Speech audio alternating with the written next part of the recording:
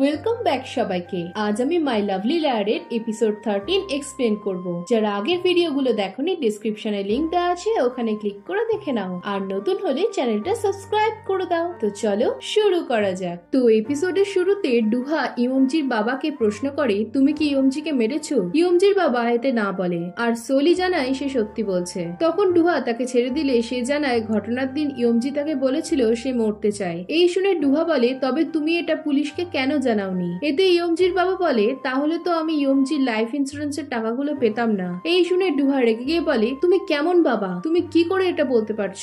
এরপর ইয়মজির বাবা ডুহাকে খুনি বললে সলি বলে ডুহা নির্দোষ। এই শুনে ইয়মজির বাবা সলির কাছে যেতে গেলে বস তাকে ফেলে দেয় আর তাকে আসল কালপ্রিটের নাম বলতে বলে। এই সময় ইয়মজির বাবা সেখানে দোকচানের ভাই জেচানকে দেখতে পেয়ে বলে, ও ইয়মজির আশেপাশে ঘুরঘুর করত। এই শুনে সবাই জেচানের দিকে তাকালে সে সেখান থেকে পালায়। এই দেখে সকলে তার পিছু করে। অনেক দৌড় করানোর পর ডুহা একসময় তাকে ধরে ফেলে জিজ্ঞেস করে সেই খুনি কিনা? এতে জেচান বলে হ্যাঁ আমি খুন করেছি। এই বলে সে হেসে ফেলে। আর বলে, আমি মজা করছি। এরপর জেচান বলে, তুমি কি ভাবছ, ইয়মজি তোমায় ভালোবাসতো? ইয়মজি আমাকে ডেট করতো। তখন সোলি বলে ওঠে, ও মিথ্যে বলছে। তাই ডুহা তাকে আবারও খুনের ব্যাপারে জিজ্ঞেস করলে জেচান সোলিকে ধরে ফেলে আর তার গলায় চাকু ধরে সবাইকে সরে যেতে বলে। বসের লোকেরা তাও সলির দিকে গেলে ডুহা তাদের সলির ক্ষতি হবে ভেবে যেতে বারণ করে? এরপর যে চ্যান ডুহার গাড়ির চাবি চাইলে ডুহা তাকে তা দিয়ে দেয়, আর যে চ্যান ডুহার গাড়ি নিয়ে পালিয়ে যায়। পরের সিনে বাড়ি যাওয়ার সময় ডুহা সলিকে তার পাশে থাকার জন্য থ্যাংক ইউ বলে। পরদিন ডুহা সলিকে বলে সে দোকচেনের সাথে যে চ্যানের ব্যাপারে কথা বলতে যাচ্ছে।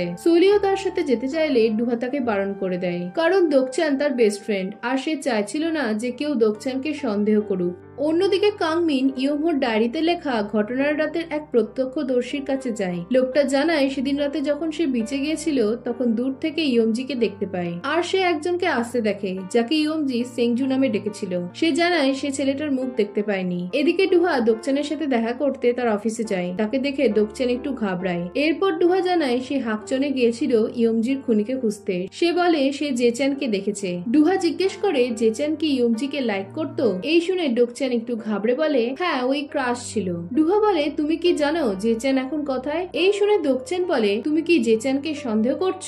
ডুহা বলে, আমি ইয়মজির বাবার সাথে দেখা করেছিলাম। আর সে জেচানকে সন্দেহ করে। এই শুনে দোকচেন আপসেট হয়ে যায়, আর বলে, আমরা তোমার এত হেল্প করলাম, আর তুমি আমাদেরকে সন্দেহ করছ? এই শুনে ডুহা চুপ হয়ে যায়। সে বোঝে তার কথায় দোকচেন অনেক কষ্ট পেয়েছে। পরের সিনে চোরক সলিকে বলে, তারা বিশ্বাস করে যে ডুহা নির্দোষ। এতে সলির অনেক ভালো লাগে। এরপর চোরক জানায় তার ক্যাফে বন্ধ থাকাকালীন একজন অনেকবার এসেছিল। সোলি তার নাম জিজ্ঞেস করলে চোরক জানায় সে তার নাম জানে না। তখনই দূরে লোকটাকে দেখে চোরক সোলিকে দেখালে সোলি দেখে তার বাবা দাঁড়িয়ে আছে। এরপর সে তার বাবার সাথে খেতে যায়। সোলি তার বাবার জন্য দামি ডিশ অর্ডার করলে তার বাবা তাকে তার জন্য বেশি টাকা খরচ করতে বারণ করে। এরপর সোলির বাবা সোলিকে ডুহার ব্যাপারে জিজ্ঞেস করলে সোলি বলে, ডুহা নির্দোষ। সোলির বাবা বলে, তুমি তোমার পাওয়ারের জন্য ছোট থেকে কোনো ফ্রেন্ড বানাতে পারোনি। তোমার মাও তোমার পাশে থাকেনি। তাই আমি চাইতাম তুমি এমন কাউকে ভালোবাসো যে তোমায় বুঝবে। এই শুনে সলি জানায় সে ডুহার সাথে থাকলে অনেক কমফোর্টেবল ফিল করে। আর ডুহা কখনো মিথ্যে বলে না। সে সলিকে অনেক ভালোবাসে। এই শুনে বাবা খুশি হয়ে যায়। আর এতে সলিও অনেক খুশি হয়।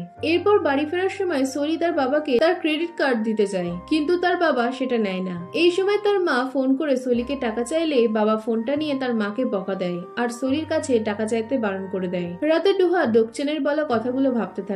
এরপর সে সলিকে ফোন করলে সে তার ফোন তোলে না। তাই ডুহা তার ফ্ল্যাটে যায়। তখন সলি চিন্তিত ভাবে ডুহাকে জানায় যে সে তার কচ্ছপকে খুঁজে পাচ্ছে না। তাই তারা দুজনে মিলে গোটা ফ্ল্যাট খুঁজতে শুরু করে। সলি তার কচ্ছপকে কোথাও না পেয়ে আপসেট হয়ে পড়ে। তখনই ডুহা তাকে খুঁজে বের করে। এতে সলি অনেক খুশি হয়ে যায়। এরপর তারা কথা বলতে থাকলে কাংমিন ডুহাকে মেসেজ করে কথা বলতে ডাকে। ডুহা কাংমিনের কাছে গেলে কাংমিন তাকে বলে ইয়মজি মারা যাওয়ার রাতে তুমি পাবে গিয়ে ম্যাচ দেখনি বলো? ডুহা জানায় ইয়মজির সাথে ঝামেলার পর সে একা একা রাস্তায় হেঁটে বাড়ি গিয়েছিল। কাংমিন বলে, তাহলে দোকচেন কেন বলেছিল যে তুমি ওর সাথে পাবে ছিলে? ডুহা বলে, সে রাতে আমার বাড়িতে কেউ ছিল না, তাই আমার অ্যালিবাই প্রুফ করতে দোকচেন এটা বলেছিল।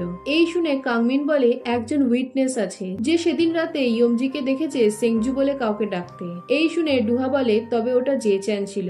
জে চ্যান শুনে কাংমিন অবাক হয়ে যায়। ডুহা জানায় জে চ্যান ইয়মজিকে লাইক করত। তুমি বলতে চাইছো যে যে তোমার অ্যালিবাইকে প্রমাণ করল সেই ইয়মজিকে মেরেছে? তখন ডুহা বলে, আমি কেবল আসল খুনিকে ধরতে চাই। নেক্সট সিনে চিফের মেয়ের অবস্থা অনেক খারাপ হয়ে যায়। ডাক্তার জানায় তার বাঁচার সম্ভাবনা অনেক কম। পরের সিনে চিফ ডুহার মায়ের সাথে কথা বলতে যায়। ডুহার মা ডুহার কেসটা সামলানোর জন্য তাকে থ্যাঙ্কস জানায়। কথায় কথায় ডুহার মা বলে ফেলে যে চিফের মেয়ে বেশি দিন বাঁচবে না, তাই তার অন্য কোথাও বদলি হয়ে যাওয়া উচিত। এই শুনে চিফ রেগে যায় আর সেখান থেকে চলে যায়। পরের সিনে ডুহা আর সোলি জেচানের দোকানে যায় তার খোঁজ করতে। কিন্তু দোকান বন্ধ থাকার জন্য তারা তার দেখা পায় না। অন্যদিকে কাংমিন বসে ডুহার গত রাতের বলা কথাগুলো মনে করছিল। তখন চিফ তাকে ফোন করে। কাংমিন চিফের সাথে দেখা করলে চিফ তাকে ইয়মজির কঙ্কালের সাথে পাওয়া আংটিটা তাকে দেয় আর বলে, সে ডুহার মার কাছ থেকে তার মেয়ের চিকিৎসার জন্য অনেক টাকা নিচ্ছিল বলে সে এতদিন চুপ ছিল। কিন্তু এখন সে সবকিছু জানাতে চায়। এরপর অফিসে বসে কাংমিন রিংটা দেখতে থাকলে তার কালিগ সেটা দেখতে চায়। সে রিংটা দেখে বলে,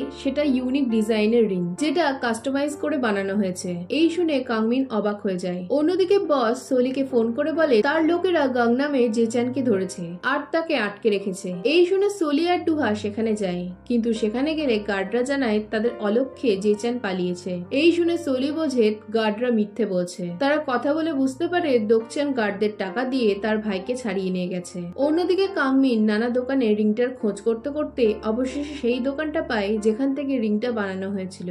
দোকানদার তাকে জানায়, কিম সেংজু নামের একজন এই কাপড় রিংটার অর্ডার দিয়েছিল। কিন্তু এক সপ্তাহ বাদে সে আরও একটা সেম রিং বানানোর অর্ডার দেয়। এই শুনে কাংমিন অবাক হয়ে যায়। ওনার বলে, লোকটা বলেছিল তার রিংটা হারিয়ে গেছে। আর তার গার্লফ্রেন্ড যাতে না জানতে পারে, তাই সে এটা সিক্রেট রাখতে বলে। কিন্তু সে এবার রিংটা ষোলো না করে সতেরো সাইজের বানাতে বলে। এই শুনে কাংমিন তার দেওয়া রিংটার মাপ জানতে চাইলে ওনার বলে, এটা সতেরো সাইজের এই শুনে কাংমিন অর্ডারের সাথে দেওয়া ফোন নাম্বারটা জানতে চায়। ওনার তাকে নাম্বারটা দিলে সে কল করে, কিন্তু সেটা উপলব্ধ নয় বলা হয়। এদিকে টুহা তার ফোন স্পিকারে দিয়ে দোকচানকে ফোন করে কথা বলতে থাকে। কিন্তু ফোন কাটার পর সলি জানায় তার পাওয়ার একমাত্র মানুষের আসল গলা শুনলেই তবেই কাজ করে। এদিকে যে জেচানকে আমরা দোকচানের বাড়িতে দেখতে পাই। এরপর কাংমিন ফোন করে ডুহা আর সলিকে দেখা করতে বলে। পরের সিনে সলির ক্যাফেতে তারা কথা বলতে থাকে। কাংমিন ডুহাকে তার আংটির কথা জিজ্ঞেস করলে ডুহা জানায় সে সেটা অ্যাক্সিডেন্টের রাতে সমুদ্রে ফেলে দিয়েছিল। তখন কাংমিন তাকে ইয়মজির কাছ থেকে পাওয়া আংটিটা দেখিয়ে বলে, এটা ইয়মজির কবর থেকে পাওয়া গিয়েছিল, যেটা কালপ্রিটের। ডুহা আংটিটা দেখে অবাক হলে কাংমিন জানায়, আসল কালপ্রিট ডুহার অনেক ক্লোজ। কারণ সে জানতো ডুহা কোথায় রিংটা বানাতে দিয়েছিল। এরপর কাংমিন জানায়, সেকেন্ড অর্ডারটা যে নাম্বার থেকে করা হয়েছিল, সে খোঁজ নিয়ে জেনেছে, সেটা যে যে নামের এক বারের। এই শুনে ডুহা বলে যে যে বার আগে যে চ্যান চালাতো। এরপর কাংমিন জানায়, দোষীকে ধরতে হলে তাদের আরও প্রমাণ জোগাড় করতে হবে। এতে ডুহা বলে, সে যে চ্যানের সাথে দেখা করবে। নেক্সট সিনে ডুহার মা ভোটের প্রচারে বেরোলে একজন তার দিকে ডিম ছোড়ে। আর তাকে একটা ভিডিও দেখায়, যাতে সে চিফকে ডুহার সাহায্য করার জন্য থ্যাঙ্কস বলছিল। এই ভিডিওটা দেখে ডুহার মা অনেক রেগে যায়। এদিকে চিফ রিপোর্টারদের কাছে গিয়ে বলে, ইয়মজির কবর থেকে ডুহার রিং পাওয়া গেছে, যেটা সে সবার থেকে লুকিয়ে রেখেছিল। এদিকে এই নিউজটা ভাইরাল হওয়ার জন্য সোলি চিন্তায় পড়ে যায়। ডুহা তখন সোলিকে বলে, আমি তোমার ক্লায়েন্ট হতে চাই। তখন সোলি তাকে দোকচানের সাথে কীভাবে কথা বলতে হবে বলে দেয়। আর তাকে একটা ডিভাইস দেয়, যার দ্বারা সোলি তাকে সিগন্যাল দেবে যে দোকচান সত্যি বলছে নাকি মিথ্যে। পরের সিনে তারা জ্যাজ বারে দোকচানকে আসতে বলে।